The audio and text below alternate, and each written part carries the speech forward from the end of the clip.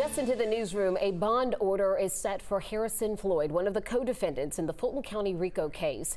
This afternoon, his bond was set at $100,000. That means he could soon be released.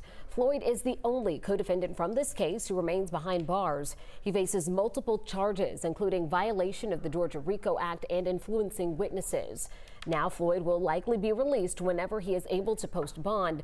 We have a team following this and we'll keep you updated when that happens.